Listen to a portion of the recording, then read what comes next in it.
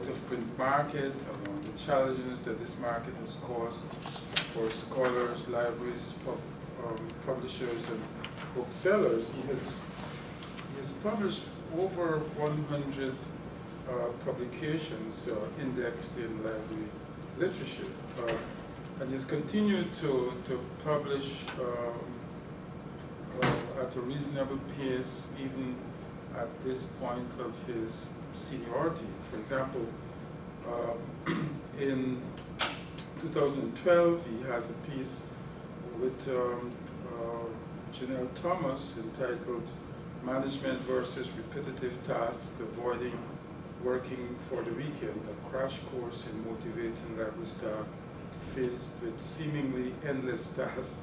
It was published in uh, New Library World. Uh, and then with, with another colleague, uh, he published the history of the e-book, the changing face of books, technical services. And this was published in Technical Services uh, Quarterly. And with another colleague, he has a piece entitled Information and Learning Commons, some reflections, and this was published. These are all very recent publications. Uh, another one is an overview of the Google Books project and other digit digitization initiatives, uh, implications for libraries. This was published in the Journal of Library and Information Sciences. And uh, there's another piece on Google, Google Book Search and metadata, cataloging and, and uh, classification quarterly. So he has been publishing um, uh, at, a, at a good pace, even though he is a very senior uh, professor. Um, Robert came to us very highly qualified for his work. He, he, he earned a BA in French and Latin from Xavier University, and he did that summa cum laude. You have to pause. Should I blush? getting summa cum laude in, in, in French and Latin. And then he went on to um, he went on to Columbia and got a master's um, in library science, and then uh, to prove that he's smart in various various prestigious places, he went on to Yale to get a PhD in French literature. Um, and he has been a tremendous friend of the, the Humanities Center. Um, he has uh, been a resident scholar in um, 2005, 2006, and then 2009, 2010. He has given four other Brown Bag talks. This is his fifth Brown Bag talk. And he has always been willing to, to, to come to our talks and to advise me whenever uh, I, I, I, need advice. So I'm very, very happy to ask you to welcome to the podium with applause Professor Robert Holley. Okay, I, am actually going to be talking about some of the things from the introduction a little bit later. Um, basically, what I want to talk about is the fact that the scholarly communication crisis is not just out there, but there are things then within the university community that have helped it along and may even be at the fundamental reasons for it. Um, to give a bit of background, I was thinking of wanting to come here again. And uh, what had happened was that I had worked with a student, and we'll talk about that in a minute, who did a brilliant article on open access. It, it was a wonderful article. And I thought about an early article that I had actually written maybe five years ago on the topic I'm talking about today. And what surprised me a bit was that this was just a short column, but it had three citations, which is the most any of these short columns have ever had. And one of the people who cited me was writing an article on it, and he commented on how very few people had talked about this complicity, and so that this is in some ways, what I consider a bit of a, hidden secret of scholarly communication. Uh, I, I, follow scholarly communication a lot. Uh, I get inside higher ed, I'm on the scholarly communications uh, discussion list. And so I, I have noted that in some ways there really isn't a whole lot of talk about some of the things I'm going to talk about today. So I thought I'd come and make Walter happy and give this talk today. I'm going to focus more on serials. I think serials are the main part of the problem. I may talk a little bit about books toward the end. The other credential I think I have is that I've been serving on tenure and promotion committees both for librarians and for faculty since 1980. But the most important piece was in one of these rooms sitting on the university tenure and promotion committee. And some of the major points I'm going to be making today come from those experiences. And I think it will explain in, a, in a, a, a bit why these things happen. Uh, okay, why? Well, this may be the main reason, and I'm not sure though it's complicity, and it's called the law of supply and demand. I once asked what would be the best thing that could happen for PhDs in the humanities, and I said repeal the law of supply and demand. And so I'm actually old enough that I was there in graduate school during the boom years. And I actually have the dubious honor of having been there at the first year when the market turned, which happened to be the year I was looking for a position in French. And actually it's opposite. I got my master's after I got my PhD. But it was 1970, 1971, and we all expected to have wonderful multiple authors, offers, because this is what had been happening for years. And suddenly, at the end of the period, I didn't have a job. And so I wandered over to the library. Um, I was married to a librarian then, and I'm married to another librarian now, who said, you'll like the library. And I liked it so much that six months later, I was commuting to library school at Columbia and began my career as a librarian. Just to be real short, I actually published um, enough as a librarian that Dean Peter Spyers-Duran in 1993 called me into his office one day and said, Bob, how would you like to be a professor? And on the principle that you always choose something new, I said, okay, and so that's how I wound up here instead of being in the library. But this increased competition, which has only gotten worse, because as I said, only 20% of humanities PhDs got tenure track positions last year, has literally meant that unlike 1969, when all you needed to do was to have your PhD and you got a job, we keep upping the standards. We up the standards both to get people hired, and we up the standards to get for people to get tenure. And so I've been a mentor since 94 to our faculty. And I will note that even since 94, we have kind of told them that the expectations are higher than they used to be. And so this increased competition has meant that universities can require more publication, and they do, in probably almost all disciplines. Maybe there are a few exceptions and maybe they are changing. I've heard, for example, that it still may be difficult to get people to teach in the business school because of the fact that they can make so much more money working outside. And so universities demand not only more from their tenure track people, uh, as we have done at Wayne, there are efforts to impose publication requirements on tenured faculty too, and I'd also like to note that to get graduate status now, you have to do a lot more than you needed to get graduate status, I think, four or five years ago. And so the standards keep moving up. All right, so we got all these people publishing like mad. And then, and I hear this all the time on Inside Higher Ed, we've got all the adjuncts publishing. Because they don't have jobs, they're working in these poorly paid positions. I feel horrible for them, really. And so what they figure is, well, if I can just get a few more publications, I might get a tenure track job. And so they're publishing. And then it even gets worse. I didn't have to publish as a doctoral student back in the good old days. But now we have doctoral students who assume that they have to have a couple of publications before a search committee will even look at them. And so I look at the resumes that come across our desk, and virtually everybody has a publication. The second one, it's come down to the master's level.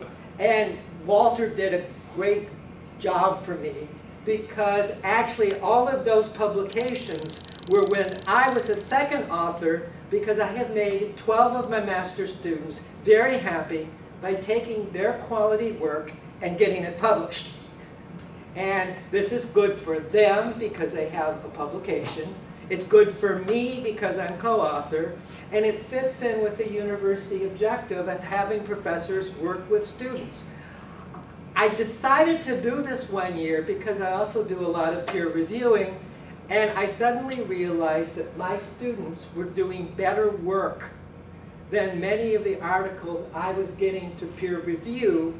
And so there hasn't been a publication that hasn't been accepted from the ones that I've helped the students. And I actually do help them. I just don't put my name on it. I edit it. I tell them where it needs to get better. I take care of the submission process. And actually, in one case, and this, I, I, I realize I'm, I'm going to try to have the student get our Student of the Year award this year. The, the, the student in my academic libraries class wrote a brilliant publication on open access that I'll talk a little bit more about later. And I shouldn't say it, but when people talk about things, I mailed it in at 8 o'clock on Sunday morning, and at 10 o'clock the editor told me he was going to publish it. Now, it's officially a peer-reviewed journal, so that isn't exactly honest, but things like this do happen. And then finally, it's even coming down to undergraduates. How many of you have seen this billboard? It was on Woodward, and I worked with my professor as an undergraduate to get my research published. So it's even coming down to undergraduate publications. And so my final comment here is that everybody needs to run faster just to stay in place. So we have all of these people pushing out the publications. We even have the increase in publications from abroad. Uh, China is on a big push to get their scholars to be more recognized. I get lots and lots of papers to review from the Emirates. And so it's not even just an American phenomenon, it's a global phenomenon. So what do the publishers do? Uh, they're pleased. So the publishers certainly oblige. So they at least until now, and there may be some changes to it, they kept creating new publications for the new research, and they would go out and they would sell it to libraries. And I know at least one publisher in our field that's subsequently been merged, that they try almost any publication out. If, if enough people bought it, they keep it. If enough people didn't buy it, they wouldn't, and the market was libraries. The other thing is the fragmentation of scholarship. And so that we used to have disciplines and then they subdivide and then they subdivide some more. And as the disciplines subdivide, that they continue to then want a journal to deal with their subdiscipline. Uh, one thing I'm actually leaving out, and by publishers there, I don't even, I guess, mean commercial publishers. Because the society publishers in some ways haven't been much better. They often use their publications to subsidize their other activities. I know that lots of places do it. This is Society publications often appear on these discussion lists. The American Library Association has a bunch of publications and they use it to subsidize the fact because membership dues only pay for about 20% of their operating expenditures. And so then the publishers can charge high prices, especially in the STEM disciplines, and I'm going to give you a couple examples of what these high prices are. Um, Journal of Comparative Neurology, $29,000 for a yearly subscription. Brain research. Uh, note the disciplines in which all of those publications are. These are in the STEM disciplines, that's where the research money is, and so they are able to charge more and they get people to subscribe. I should have checked. See the numbers in the back here, read them on to us. Okay. Uh, Journal of Comparative Neurology, 29,000. Brain Research, 23. Applied Polymer Science, 22. Tetrahedron, 22. Neuroscience Research, 21. Cellular Physiology, 17. And Chemical Physics Letters, 16. In, in what field is tetrahedron? Um, Chemistry. Chemistry? Yeah. Yeah, that's in chemistry. Oh, good. Good enough. Not you. Not you. Okay. Yeah, Oh, not-. Okay. Because I never heard of You're it. And then inflation, inflation costs, I got another slide. So this is how inflation costs are. This, these are relatively recent figures. And so that the prices both for journals uh, and also somewhat for books are going up. Uh, the difference between serials and books is that books you can decide not to purchase them. Journals, once you have a subscription and your faculty and students like the journal, it's much harder to cancel it than it is just to not buy a book. And so this has also been the reason why libraries have moved funding from purchasing books to purchasing journals. The old statistic used to be 60% uh, serials, 40% books. It's now 90-10 when you include the databases that we buy that are often full-text journals too. All right, scholarly communication in libraries. I, you probably know this, but I'm going to go over it. But the argument is that the government gives grants to produce research. The scholars that produce the research have to publish their results. Uh, the other thing they do is that they also will often break it up into multiple articles. So that rather than just publishing one substantive article on the project, they will have, this is what we did in step one, this is what we did in step two, this is what we did in step three. So you get three articles which count more than one. The researcher is then asked to sign away all of their rights. Uh, some researchers perhaps can resist them, but many don't. Um, I'm a bad child. I haven't really posed many problems when somebody said to sign on the dotted line. Uh, I find an irony in the fact that I had to sign all away all my rights on the article on open access. And so there's, there's a little bit, that's a little bit ironical. And then what happens is that the publishers sell this research back to libraries at a high cost. And the issue here is, well, why can't you not get them? And the answer is that, as I showed you on the list, the high-impact journals in the STEM fields know that they can charge more because of their being needed by the scholars. Uh, part of the problem here, and I'm not going to talk much about this, there are those that worry that the system is going to collapse because libraries are money, running out of money to buy these journals, and something's going to have to give. But we're not there yet. We may be there in five years, but we're not there yet. Maybe, maybe journals will just have to reduce their price if Uh, nobody buys them. Um, actually, there have been a few mergers of journals. Oh, okay. So two journals become one. Um, on the other hand, the commercial publishers, when you look at their reports, I, this was a few years ago, but one of the people said, well, Elsevier, one of the major villains, according to libraries, was commenting that they had 38% increased profits over the year before. So if we do have a villain in the library world, it tends to be that publisher. Um, so what have libraries and some administrators tried to do to change the system? The, the first thing has been open access, and the open access principle is that you don't sign your copy right away, you use preprints or postprints, and you make your research available uh, to everyone for no cost. We, we have an institutional repository here called the Digital Commons. Um, there are two ways of doing it, and the institutional repository is called green open access because no money changes hands. So each year, at the end of March, when I do my annual dossier, I send all of my publications of the year before over to Josh, who is our person who responsible for the digital commons. And he looks at them and he says, I can do this one, I can do that one. I can't do the published version of this. Do you have a preprint? And I have a preprint, so I send it to him. Uh, I'm going to say right now, this is great for faculty. If you don't do it, I would suggest that you do. The next slide is going to explain why it isn't all that great for libraries. So I've done it, and I have 13,525 downloads from 72 papers that I happen to have in two repositories because I publish a lot for a group that also deposits everything at Purdue.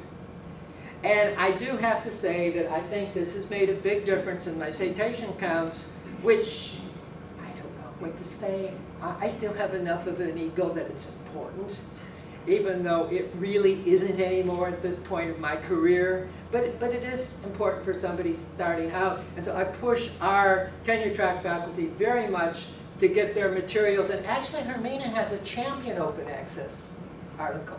How many downloads have you had? Do you remember? It was a class project, so again, working with students. And um, it was in the, it has been in the uh, Digital Commons at Wayne State since April two years back. And it has more than eight thousand, just one, one piece, eight thousand downloads. Okay, so it's very good for faculty. I should also say, in, in doing this, I happen to look at Bepress, and I, I'm listed as one of their most downloaded authors, so. All right, the second one is Gold Open Access. Uh, Gold Open Access is a different beast because the publisher says you can either sign away the copyright or you can pay me lots of money.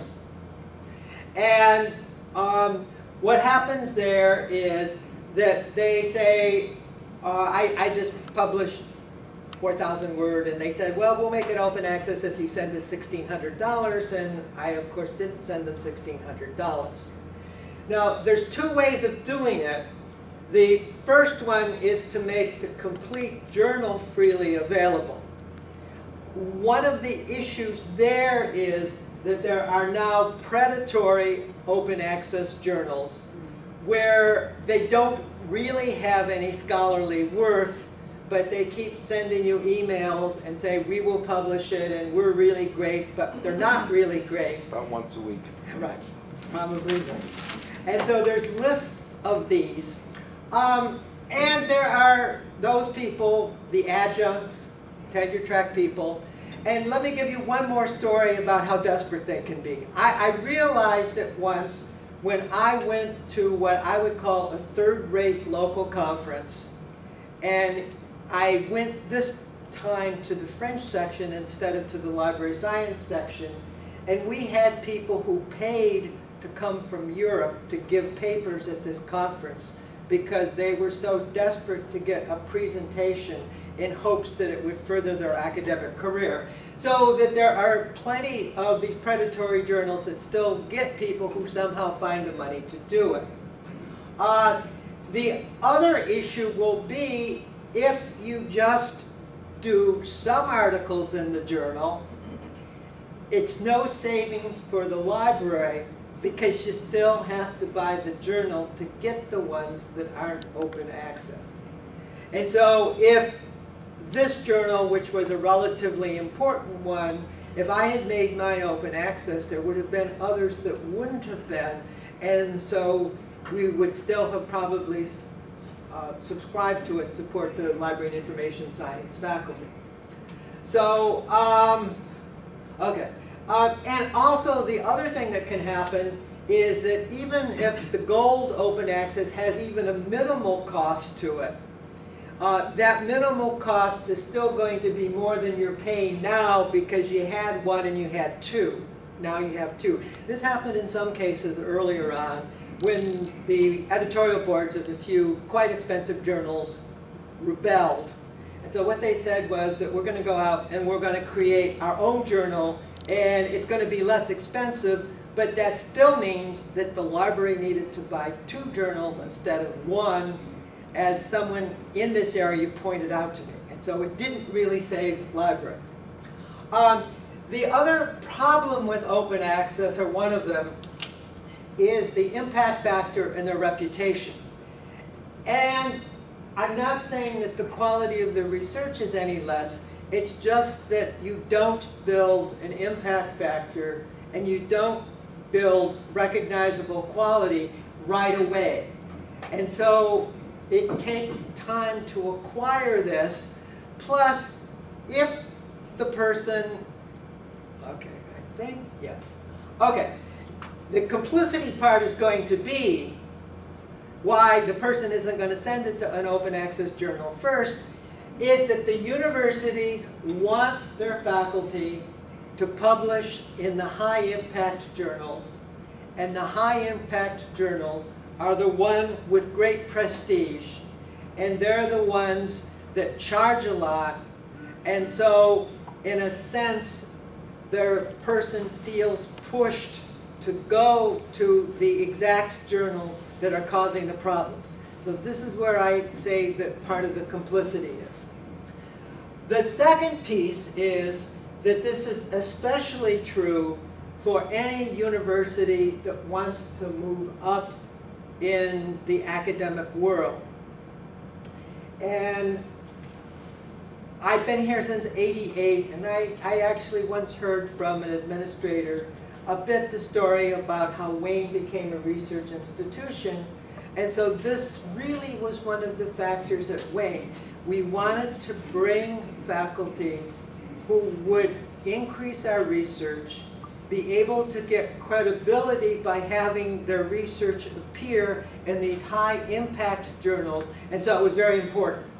I remember once talking to an administrator when there were some thoughts about perhaps we should, um, we should try to reduce the number of journals by causing our faculty to have to publish in open access or make open access. And the quick answer to that is not possible because we have a union contract that gives copyright to the authors, so the university can't do anything without changing it.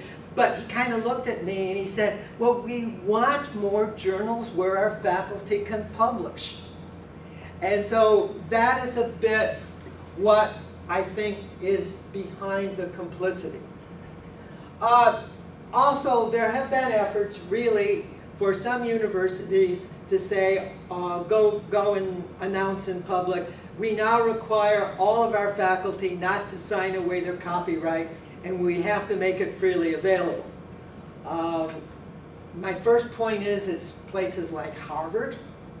Um, Harvard doesn't have to worry about its reputation. It already has one.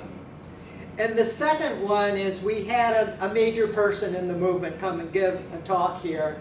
And we went into how wonderful this was. And I kind of showed up at the end. I didn't ask this question in public.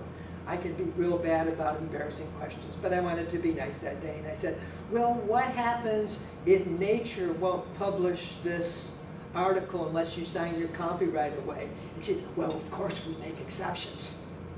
And so I'm not sure how much this will really make a difference even when there is a rule in place because I'm quite sure that in those cases where it's important, all you have to do is ask nicely and some exception will be made. The final thing is faculty don't really care about journal costs. Um, I sit on the editorial board of a journal, and I, I was amazed when I discovered how much the library system had to play to get that publication. Uh, I care that I've got access to it. i think many of you care more about the access. And it's kind of like the only time you worry is when the library comes and says, well, you know, we don't really have the money anymore.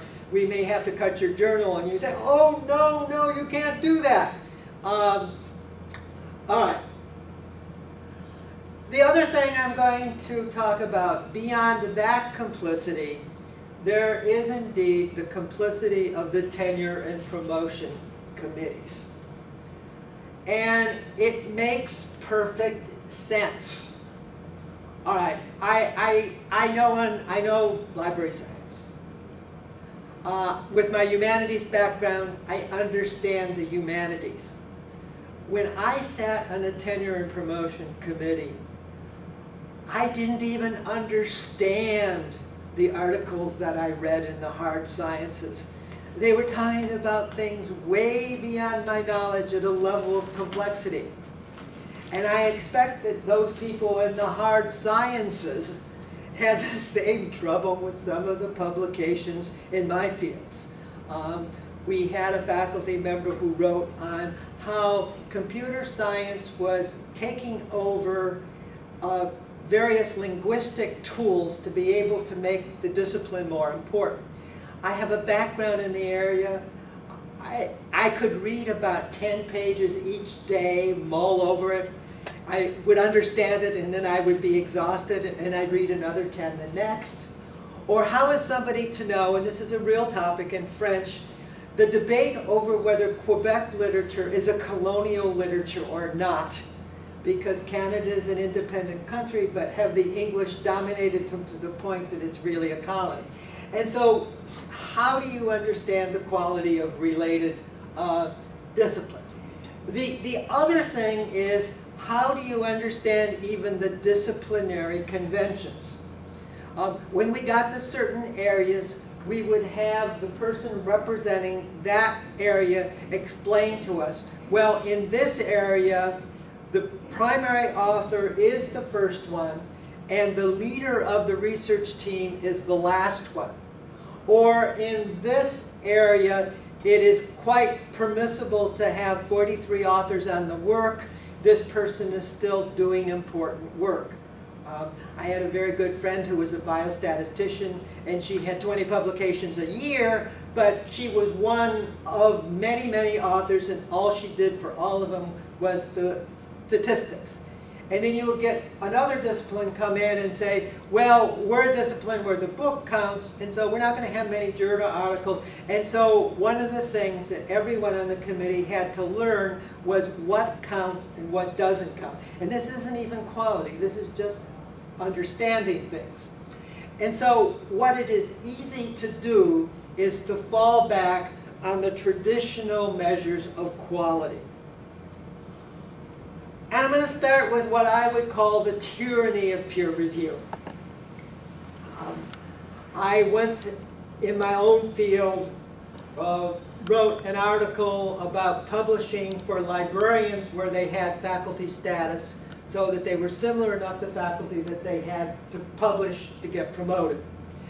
And I explained that you have just written a wonderful article on some brand new thing that you're doing, and what do you do with it? And on the one hand, you could put it out right away in a major journal like Library Journal or American Libraries. Thousands of people would read it. 60,000 people get American Libraries. It would be great for your reputation. Other people might take this improvement and apply it in their libraries. But if you're in tenure track where it needs to be peer reviewed, what you can do instead, or should do instead, is send it to some journal where it will take six to nine months to come out, so it's no longer relevant. Um, I once published in a peer-reviewed journal that when I looked it up, it had 33 subscribers. Uh, I'm being more honest here than perhaps I should be. And, but this will be what counts for you. Um, I'm not going to say much more, but we had one of our faculty who did the same thing. She published in a marvelous journal with high impact, lots and lots of people reading it, but it doesn't count the same because this was not a peer-reviewed journal.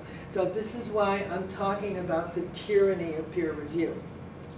The second one, which we've talked about, is journal prestige. Um, this may be warranted or not warranted. I suspect in many cases it is warranted, so I'm not going to quibble about that one. Uh, then there's the impact factors. Um, I've never really quite understood how they get figured out. I've, I've read a couple articles about it, and one of these days I'm going to have to have somebody sit me down and, but then I'm going to say a bit about citation counts. Um, what does citation counts mean? let me give again my own story. My most cited article right now is one of those student papers where I'm listed as second author. As of yesterday, I have 53 citations, which is lots and lots of citations. It's a perfectly fine article, but all it is was a summary of the literature at that point, and it includes absolutely no original research. But because it's on Web 2.0, it's extremely popular and I think has been cited by 10 or 15 papers just this year. And so I'm not even, all right, I, I have two wonderful research articles. I got grants to do them. I went to Canada and spent time doing original research. I even did some archival research. They were published in the most prestigious journal in that area. And I've got three citations to one and two citations to the other because while it's wonderful research, and I have no problems that this paper will still be valid 25 years from now, while the one with the 53 citations will just kind of be a footnote that nobody will bother with anymore. But if you're just looking at it, it's more about the popularity of the research, and it may be less about the quality of the research. Um, I'm also going to say that the other thing is that, and I would like somebody to correct me if I'm wrong, but forget what the discipline is, but some of the cutting edge disciplines with relatively small numbers of faculty, they're in absolute contact all the time they're working on exactly the same issues, and they exchange emails to tell everybody where they are. I think subatomic particles is one of those, or one that I talked about. Nanotechnology. Okay, nanotechnology, those things. And that actually it doesn't, it only gets published as historical record because by the time it gets published, it's already out of date, or at least this is what I have read. So I'm, all right, I'm accurate, I'm getting C. All right, so that these areas will be more likely to get the citations because everybody's working on the same thing. They need to know about each other's work, and so it occurs and it's got prestige. Uh, I, I have several articles in which I deal with the fact that many parts of the humanities are silos. And that I'm going to give the example of my dissertation. I found the perfect dissertation topic years ago because it was a minor subject that nobody had ever, ever written anything about, or only one person had written anything about. So I got to start writing with just a couple months research. Um, I got my dissertation finished quickly and I graduated to no job, but I didn't really expect that anybody else is going to be interested in that research.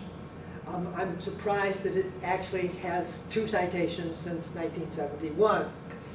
And since I work with the faculty in the Romance languages, there are some incredibly good scholars there who are extremely well respected in their field, but their field is very, very narrow. And unless you're interested in those narrow things, you don't get much credit outside of this narrow field. I, I know that some of you, I, I'll get to that in a minute. And so these humanity disciplines, some of the wider ones run the broader topics, yes, but if I'm, if, if I were to become interested in a minor 18th century author, there would be relatively few people that would like my search even if my research were brilliant. And so, as I said, there's an issue of, of silos. Um, part of the problem for libraries is that these people working in silo areas are going to legitimately come and ask the library to buy materials to support their research and the library knows damn well that that's the only person that ever is going to use this material unless someone happens to write a dissertation under that person and has to do the same thing. But we need to support them. I feel very bad for them. At times we don't support them more. And that finally, we've got the issue that publication favors those areas where the person that publishes the journal can make money. So if this is not an area where there's going to be many sub- subscribers, unless someone subsidizes it, if it's a scholarly publication, if it's, a- if it's a labor of love by somebody who really loves the field, there's not going to be as many publishing outlets. And so I, since I'm here, I'm going to ask the broader question, which I've actually brought up on several discussion lists when I've commented. Does this really mean that we're going to stop hiring these niche researchers at the university level? So when we look at somebody to bring on campus, once the people who have built their careers in very small areas disappear, is there going to be an increasing expectation that they deal with a broad enough area that they're not going to have problems getting their research disseminated? So that they will get into good journals where if they're in a tenure book area, university presses are going to accept their proposal. And so I wonder how this will affect scholarly communication. I'm now going to talk about something that I have thought a lot about. I don't think it's going to happen to give my conclusion first, is that we could move away from the commercial model. I talked about this the last time I was here giving my talk, and I was basically dealing with self-publishing. Um, there are actually scholars now who don't care about tenure and promotion, who are self-publishing for several reasons. Maybe the first one is nobody will publish what they want to have published.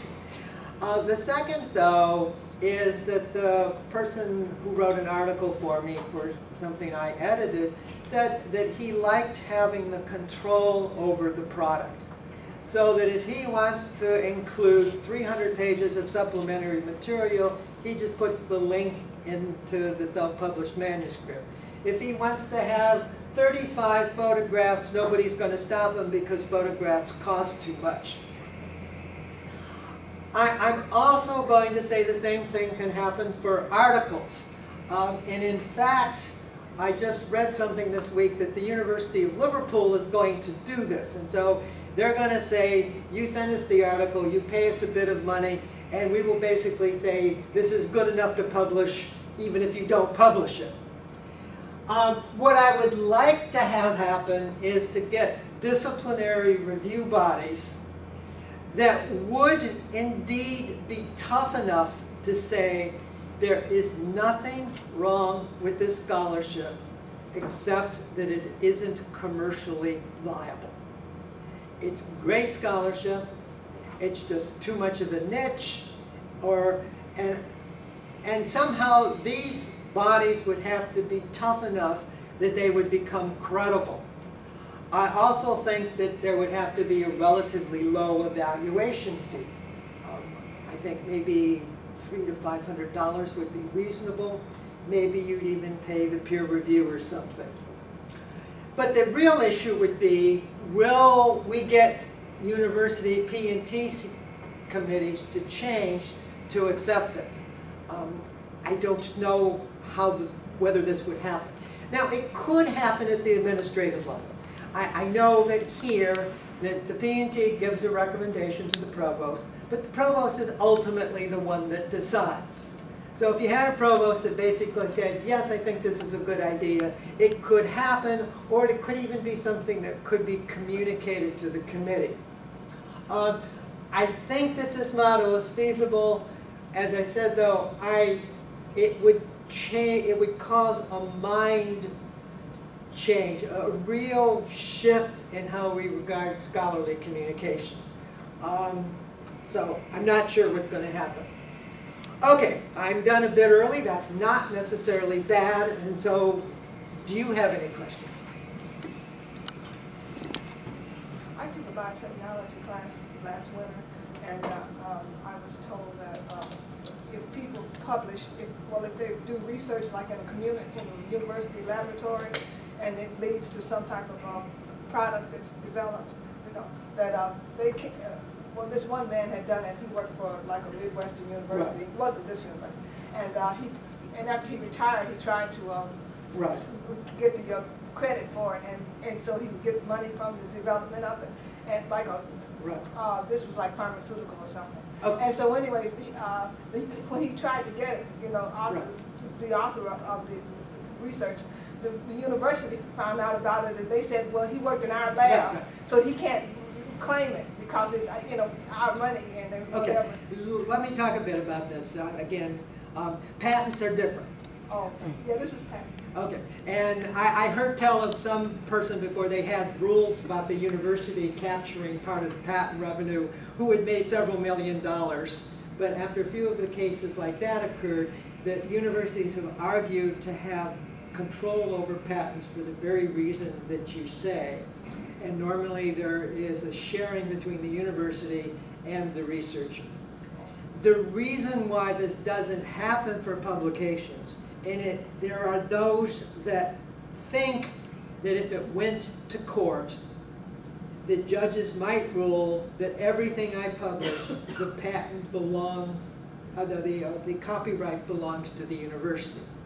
But universities have tended not to fight over this issue because publications don't have the large sums of money attached to them that Pharmaceuticals. patents do.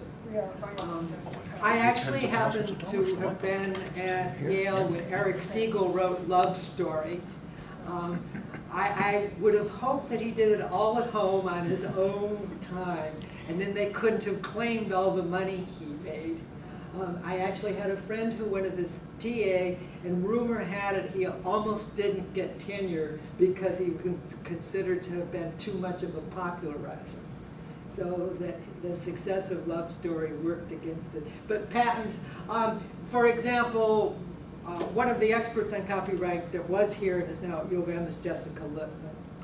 And I still remember her, was a wonderful presentation. It's just basically in the academic community, about one-third of the universities explicitly give copyright to their faculty. One-third are silent, and one-third claim copyright, even though they don't do anything about it. And actually, University of Michigan is one of the ones that claims copyright, but they don't do anything about it. So in other words, though, if they wanted to sue somebody to get the copyright for something, they are saying we have not given it away. This is our claim because they did it with university resources. Um, Linguistic Society of America has been wrestling with this issue. That's the, the, the national professional organization for linguists in, in the United States. Um, and it, it has a, a, a journal that is, that they publish, is published through the traditional means and experiences all the issues you've been talking about, except that it's not ridiculously expensive, I think. Although I actually don't know how much the library pays for it. Uh, you, you get a subscription with your membership as Yeah, a well, faculty member. members. Uh, But of course, the libraries are not. So I mean, I know, I'm a life member, so it doesn't count, but I, I know how much, I think it's hundred and fifty dollars Yes, for it's probably not ordinary that people. expensive as a journal. That's would cheap. give- They Yeah. give it to you as a. you Right. as a- But, um, but the society also publishes two electronic journals that it is using the open access model to publish with serious editorial review, which of course is always the problem with open access journals, is you've got to get people who are willing to give away a large hunk of their lives to be the editors of open access journals, given that they're not going to get paid for it, unlike commercial journals where they sometimes do. Well, why couldn't they get paid for it? Sorry? Why couldn't they get paid for it? Uh, because the Linguistic Society can't afford it. Okay, let, let me add one comment. Uh, the, I, I, again, within the last six months, I read a column about the commercial publishers trying to sweep these society publications into their fold. Well, They- I, I'm, the, the LSA has put together a committee, Committee on Scientific Communication of Information and Linguistics, uh, to start worrying about this issue. Uh, and it's asked me to chair it.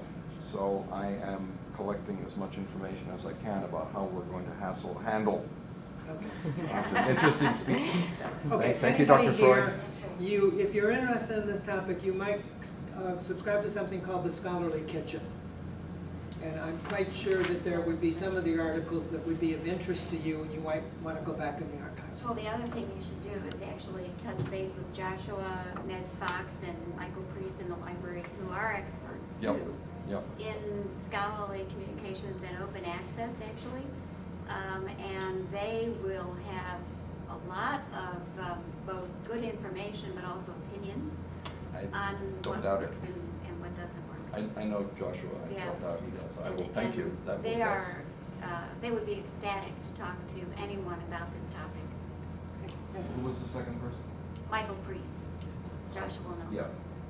So, um, how much of the difference in the increase in cost of, of journals compared to the general CPI can you attribute to what we call in math, it, it, it, it's called the inventiones effect, okay? So, so, so the inventiones mathematica is one of the two or, or three, or three best journals. It was published by, not by Elsevier, but by, um, Springer? Oh, by, by, by Springer, yes. And then about, I haven't followed this lately, but about ten years ago, they raised their price and the libraries uh, stopped subscribing. So they raised their price more and some more libraries stopped subscribing. And it was this kind of vicious Yeah, circle. Right, that, Um, that is, that is one of the things that happens. And so the fixed costs remain the same Right. and the number of subscriptions decline. Right. So you're bringing up one of the other reasons why this may get to the point where it's no longer possible to sustain the model. Right. The other thing I didn't talk about is something called the big deal, where you are, want a certain number of journals, and the, the person selling it to you says, we will kick in oh. all of these extra journals for not a whole lot more money, and so lots of people take the big deal. But then that causes a problem that faculty don't understand, because when it comes time to cut journals, they say, well, but you're getting all of these horrible things, why don't you cut them? And the library has to respond, well, they're part of the deal, and if we cut them, we wouldn't save anything. Uh, the other amazing thing that I have mentioned in some of my publications is that because of the big deal, because of other things, there will be publications where you get multiple access. My favorite one, because it's in my own field, is Library Journal. The last time I looked, we had 16 different ways to get access to Library Journal. And the time range and the mode of access varies from one to the other. So that one will have the full issues, another will have only, you have to know the, the article you're looking for to find it, and I have to remember that when I need things for my class, I go to ProQuest Gold, because it has the information in the way that I would like it. But the spiraling downward is indeed part of the issue. Uh, I don't know what's gonna happen when we get to the point where there may be journals that go out of business. And I wanted to, No, go ahead. no, no. Um, I just had a question for junior faculty, um, and, cause I think I'm like a upcoming scholar at some point, and I know, uh, the university I'm, I'm at, we made offers to public intellectuals, um, a junior scholar that was a public intellectual more than he was a, let's publish in the top journal. Um, what does this new, and I'm also in like a very social science, I'm in political science, so like, it's sexy to be in politics. So, what do you, what do you say about kind of balancing the public intellectual and actually scholarly writing? Because being a public intellectual takes a lot of time and effort in a way that I would much rather sit at my computer and crunch numbers than go and talk in front of eight thousand people about my research. Like I just, so what's the balance there Okay, in the- trying to get? The, the thing is, it's better to get published than not published. That, that's the first thing. The, you should aim for the better journals, but it's better to have something published in a second or third tier journal than to not have it published at all. Yeah, but, but, but I'm not sure that that's what you No, meant. no, No. No, no, no, I'm, I'm asking a question about, so we made offers to public intellectuals, and we had people who, from top universities, he was from top university as well, Right. but, um, we made offers to someone that you would think wouldn't have gotten it because this, the other scholars have published in top journals, like our one and two journals, Right. and they didn't get the offer, but because he's on TV and brings the university more press, and Oh, they feel like long-term, Yeah. that's, that's like Yeah. what we need to do instead of Yeah, I think it's kind of a P and T hiring Yep. uh, question, which, which has a. It's gonna depend what the department wants. Address, um, And So I think that that's why, I think that, um, and, and this is related to your comment about that, if um, you're in a niche field, and will we continue to hire people in those fields? And I think there's, there are two things that, that kind of relate to. One i- is that people are, are, are trained differently than they were. So I, I think a lot of the people, uh, very, very experienced faculty trained in very niche fields, were trained at a time when that was a more acceptable way to train scholars. And, and I, I found that when I was trained in math way back in the last century, you know, like in the early to nineteen eighties, um, that you could be deep in some silo and, you know, if you published enough and if you, you know, then, then you were fine. Whereas now, I think that, that in, in just all fields, that you're expected to be deep and you're expected to be broader than you were before.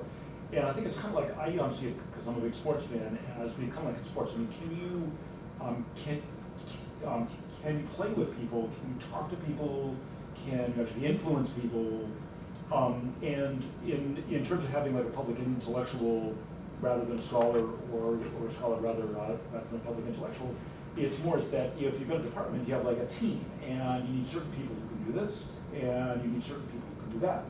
Um, and especially for a, a, a field like poli sci, um, actually, um, it, I think it was a political science professor here who once said to me, there was a reason why why uh, political science professors didn't didn't become politicians, um, and and I think it tends to be true. So and and so I think you need some of both. And I think if you had a department full of the one or full of the other, then you might not have uh, the best department you can have. So that's what I think. And I, Wayne State is very pleased, for example, with people who have worked with the community. So I'm, I, I, we get distributed to us the daily news report where Wayne State people are mentioned in the press.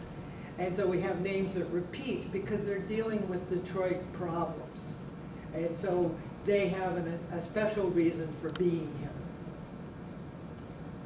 Right, and, and I think P and T committees are beginning to be more flexible about what they will accept. And I think um, that when, when you talk about citations and kind of like traditional metrics, I find, from my experience, it tends to be universities that are not completely sure of themselves that want to use those quote objective metrics more.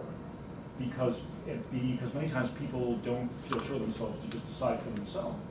Whereas, it- and I think of like, for example, when I was at the University of Southern California, um, we had a faculty member who had, he was associate professor, he was writing his second book, but he wasn't done yet, he thought he was doing very well. He to come up for uh, promotion to full professor. And the P and T committee said, well, you know, you're doing great, you know, just wait a couple more years and, and just finish your second book, write one book for tenure, two books for full professor, just do it. And he said, no, I'm, I'm not gonna wait for that, I am gonna go to market. And the University of Chicago didn't seem to be as concerned with that, and they hired him away. And I, uh, the, And um, With tenure? Did they as hire a full him professor, with as a full professor. And I said to myself, hmm, that's kind of curious. A. University of Southern California is a good university, but I think most people would argue that it's not as good as the University of Chicago. But they didn't seem to mind. They, they, they- you know, they saw he was working on his book, things were going well. He's been doing great for them. And we lost a fabulous faculty member because we were too rigid about our own. And, and I think I, that, that I learned a lot from that, actually, that it's not, it's not just about numbers, um, that it's about the actual impact of the work. And I think if you look at it, you look at it closely enough, and it's not easy, you know, you know, like in some fields, but I think if you, you know, if you take a close enough look, I think you can really do it, and I as a dean have to do it. Well, it's only when we get more people like you as the dean who think differently and who help us get the kind of people on the P and T committees that do think that way, that we actually will make some of these changes. Well, actually, the P&T committees are largely elected, so. I know. Yeah, yeah, so, so I I. I can't, it's in the contract, as would say, so, so I can, But the more but, people but, we have, but we can guide them though, and, and again, because, because they make a recommendation to us. And I think we can put some context if we don't agree. So I, just one more thing, I just got a, a letter from Claude Schochet, maybe Mhm. you got this too, that's um, entitled, the end of the Journal of K-Theory, it's a math journal. Oh, well, that, that- is the end of the world. And, um, but the interesting thing about this was that the entire editorial board for the Journal of K-Theory just resigned. Right, yeah, yeah, yeah. in uh, protest over the profits that were being made by the person who actually had agreed to publish the journal and eventually was supposed to be turning it into a um, foundation nonprofit, but uh, found such lucrative business with the, the profits he's making, has refused to do any of that. So they are now Was, en masse have resigned. was that Anthony Bak? Yes. The guy, yeah, I know him. Yes, Yeah, and okay, he's, I will- um, I will say no more. I- I- he's I will take apparently loving the profits. Uh, well. of the Journal of K-Theory. Who Yeah, knew? Uh, John, So- well, well, I can attest to, um, you, you should not, um, you should not be betting your life on, on the profits from the Journal of Cape Well, I'm not, um, but I would be, um, willing to support the editorial board that resigned and will create, who wants to now create an alternative. Right, Um, I would be willing to support them. Yeah, because they've stood up, they, they're standing up for, uh, helping to reduce the exact same thing that Bob was talking about, the, the price gouging. and that was a thing, um, that, that, again, I haven't followed as, as closely, but, but, um, there was a group of a lot of like Fields Medal winners who were very, um, concerned, and many of them resigned from boards of high-priced journals, and it's been this big, um, That's, that's happened over the last several years, where we Yeah. have some uh, turnover, and they, that's um, how we've created things like the Public Library of Science um, Journal. So, people have said, I, we're not putting up with this anymore, we're gonna form our own. And some of these journals now have been operating for the, for long enough that they now have higher readership and higher impact factors than some of the ones that, that were previously in Yeah. that position. But, but- but the thing that, that I think all of this is leading to is that, that I think didn't go answered for years because of, of, the- of the uh, dominance, uh, at least in the fields that I know publishers, you know, like Springer and Elsevier, is um, who, who gets the benefit? I think that's clearer, and I think we all ag- agree for the most part that whoever gets the benefit should bear at at least part of the cost. But, but you had the benefit here, you had the cost there, or, and, and the costs were spread, and, were- and I think it was all kind of, that it just kind of morphed into a um, system that I think nobody really understood. Um, and I think we need a kind of a simpler business model, but I think that that's gonna mean that universities and, and, and funding bodies, if they're expecting us to, to make this open access, then I think they, they should, you know, feel fit to, uh, to bear part of the cost of actually Well, helping that- to do that. that's actually the question that I would ask before um, faculty that are in here all leave. Would it, is it something that you would value to have a fund at the university that you could apply to, to have your, the cost to publish in a journal, in a gold, open access, which means you pay to be published? Would you want to have a fund at the university that would allow you to, to request money, funds in order to publish in gold open access? There are many universities now that are managing funds. Um, we don't happen to have a lot of extra money to do that kind of thing, but I've considered, I actually have tried to work with the Office of Research on a, over a number of years to put together a fund. Um, and, and I was told like ten years ago that in the medical field, it is just normal that Yeah. you build this kind of thing into your grant. Right. And you pay to publish in these journals, but your grant usually pays. But Right. it doesn't help for those of us I who know work in it doesn't. fields for which there are no grants. And Like- I think some grants don't, don't, don't allow for it. Yeah, well, that too. Yeah, yeah, that, that, um, but, But I think the answer is yes, Anthony, I think, I Okay, think people can, would. can I, can I make two additional comments? Yes. The, the first one is, the open access probably helps smaller institutions more because they get a lot more content. Right. And I believe it was Cornell that figured that paying all their authors' fees would cost more than the journals that they Right, subscribe it to. was. And the second one, and I think this is happening, I think the journal is losing its hold and the article is becoming more the unit That's of right. conference, of, of commerce. Right. Because of the fact, of selective indexing in databases, and data, databases where you no longer see the whole issue, you just see what you're looking No, for. I mean, it is like a CD and, and like i, iTunes, basically. Exactly. Yeah, Yeah, that's- yeah, the album, Yeah. the same way the Yeah. album has Right. disappeared, Right. so has the journal. Um, this has been something that I think Trying to uh, in by Bob those of Seger. us in libraries for a long time have said, let's disambiguate the uh, journal. I don't care what, what, you know, where this comes from, I just wanna get this article, and basically that's what we do when we buy an article for interlibrary loan. We don't own something and we have to go buy it for you, uh, sometimes we borrow it from another, we don't borrow it, they give it to us, and then we give them something in return. Yeah, I think- Or we buy it for you. Yeah, I think, I think the only article. problem with that kind of à la carte is that, that I think it, it can get people into, I mean, it is kind of like what, what sometimes people get their news from their own, so if you're conservative, you, you know, you get your news from Fox, if you're, if, if you're liberal from, you know, from CNBC, and, and I think that, that, that, that you can wind up just getting the articles that are in your sub, sub, subfield, and when you pick up a journal and you, uh, a, uh, a kind of general interest journal, and you see all the great things happening in fields near and even not so near yours, I think there's something to be said for that. So if there were a way that you could get sort of the news, um, you know, like the kind of headlines of things being done, and then Well, you could, there is. and then you could dig do- deeper for the things you really want. You want. could do the table of contents. Yeah, um, which we've Yeah. tried to do on, a- on various occasions and very, over various years. You would have a table of contents, yeah, um, always, and then you would just pick the journals that, or the articles that we would buy and pay for. I probably will never see that in my lifetime, but at some point, that may be the way that libraries start to pay for the kind of materials that we're paying for now. We spend over eight million dollars on journals and databases. And I think the greatest advance of the twenty-first century is the article linker. It is fabulous. It's fabulous. It has saved me so much time. Where you just click and it tells you whether you've got it or not, and if you don't have it, you really want it, it connects you with interlibrary law. yeah. But just, you know, I mean, to thumb through those dusty volumes and those Yeah. dust mites and, have at it, Wayne. yeah, Like what I, what, what I, what I picked as my graphic. Yeah. Yeah, I noticed. But thank you all. I thought Thank you, it was- thank you, thank you. Did you, uh, you said something about your student who wrote an article in Open Act?